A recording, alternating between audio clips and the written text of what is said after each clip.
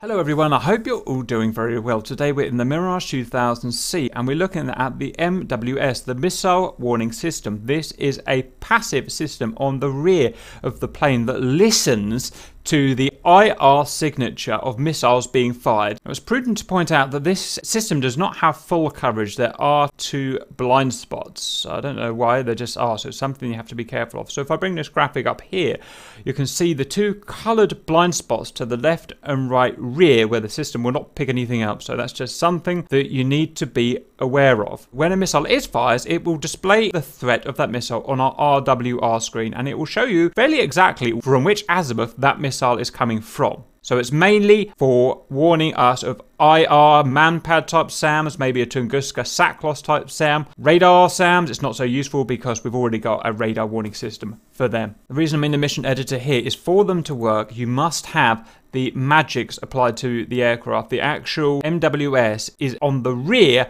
of the pylons of the magic. So if you don't have the magics on, you don't have the MWS. So let's jump in and fly past these man pads. Hopefully they'll shoot us at a decent azimuth. We're going to make sure the system is on. Here it is, missile warning system. It can be off, it can be on, or it can be test. It needs to be on, obviously. To confirm it is on and functioning and that we have the magic pylons, then we can see below the RWR missile warning system will have a full light like that. If we do not have the magics on, then it will flash and it will not be functional. What we will see when the system is detecting a missile is a line, a vector from us showing where the missile is coming from. We'll also have a tone, a missile launch tone.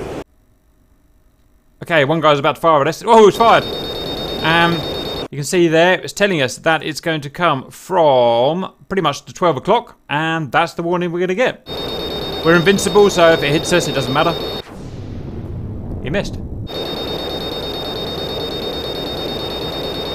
Are they going to have another pop? It doesn't look like it. Yes, that guy over there is going to have another pop. Fire, sir. He's going to fire. Ah, damn it. The only thing to point out, again, is to reiterate that we do get blind spots. So a blind spot kind of in that area there, and a blind spot in that area there, due to the limitations of the system. Um, that's all I've got to say. Hope that helps, and see you later.